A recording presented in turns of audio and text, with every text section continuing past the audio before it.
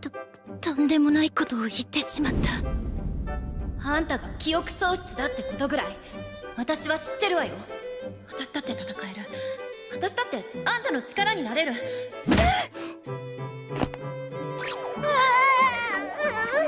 あいビリビ琴リじゃん。お前ここで何やってんの？べ別に何でもいいでしょ。いつものこれよこれ。いやえーっと。そのあんたもう怪我は大丈夫なの？まあ一応。でもそっか。やっぱお前は知っちまったんだよな。他の奴らには黙っておいてもらえると助かる。